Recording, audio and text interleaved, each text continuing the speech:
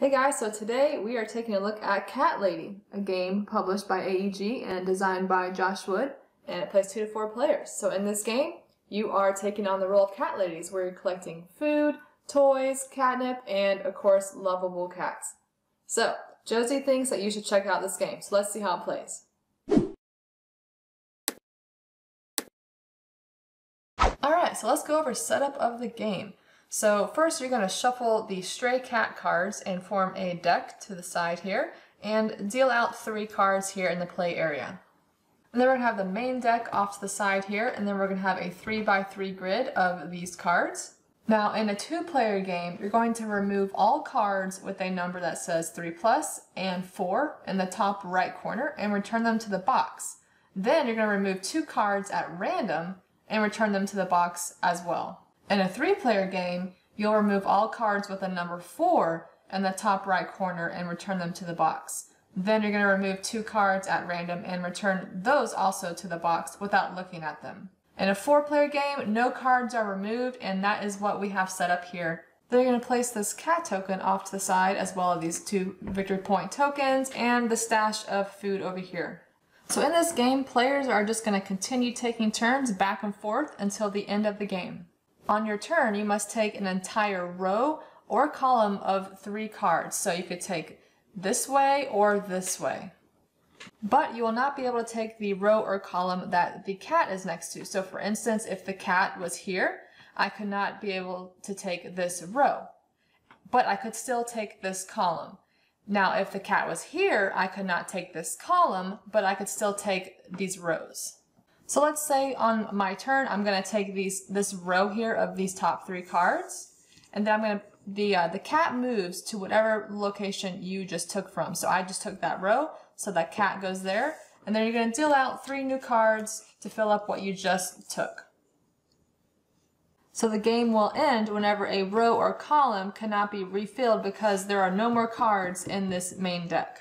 Alright, so let's go over the different card types, starting with the cat card. So if you get a cat card, you're going to place it face up in front of you. So on the cat card, there will be different colored cats, and these are victory points that you can get at the end of the game. And this is what food the cat needs to be fed in order to get those points by the end of the game. So for instance, if this cat was fed and had three chicken um, at the end of the game, then that, that cat card will be worth six points. If the cat is not fed by the end of the game, then you will lose two victory points for not feeding this cat, and you ignore this. Now cats also have different colors like I mentioned. They will be either black, orange, or white.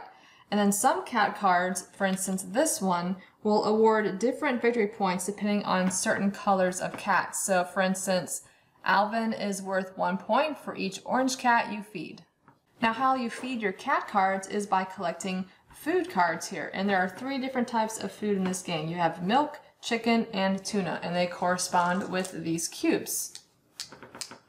So whenever you collect a food card, you are going to immediately discard this card and then grab the food from the supply and add it to your play area.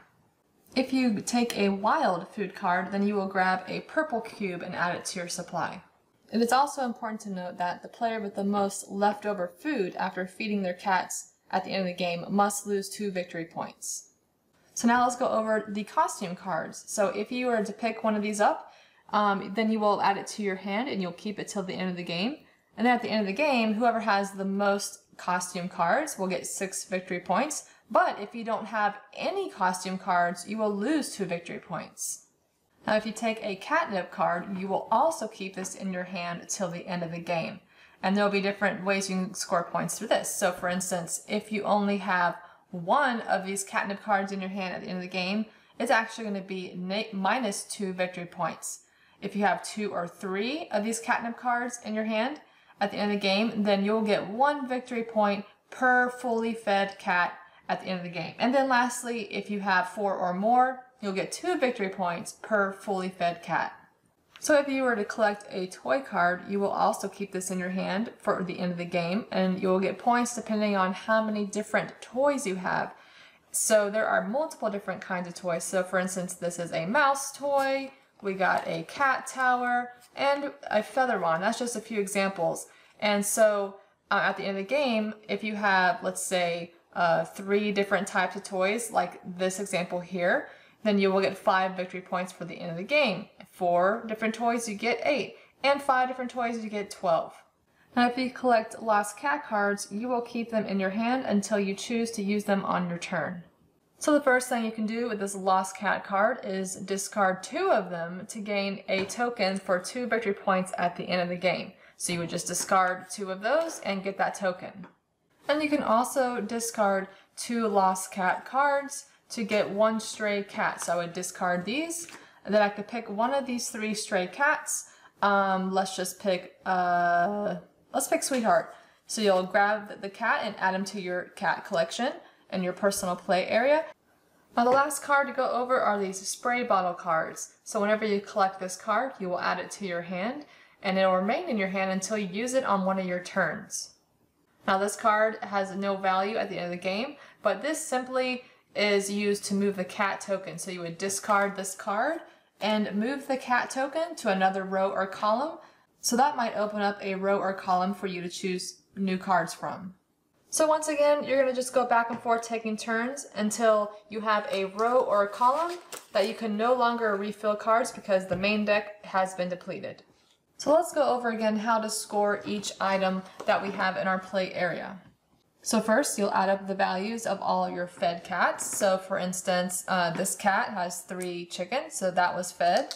And this one was fed as well, and same with Sparkle. So we're gonna add up all those points. So that's three, six, five, so that's 14 points. And then you'll subtract two points per cat that was not fully fed at the end of the game. So for this example, we have one cat that was not fully fed, so that is minus two points. And then you're going to score your costume cards. So this player has two cards, which happens to be the most among the other players. So they would score six victory points for those.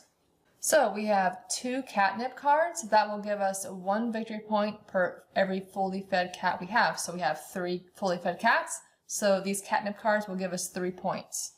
And then you'll score the toy cards. So we only have one toy card here. So that will only give us one victory point. And then lastly, you'll add up any uh, victory point tokens that the player might have. However, this player does not have one, so they don't get those points. So then each player will tally up all their points, and whoever has the most points is the winner. So, Joes, what did you think of Cat Lady? Really? Well, Josie approves of this game, so she wants to know what you think about this game by leaving comments in the description below. And she also said that if you're interested in getting it, we'll put a link in the description below. And of course, she wants you to tell the world about us because she, she thinks mom and dad are awesome. So go ahead and subscribe, and we'll see you guys later.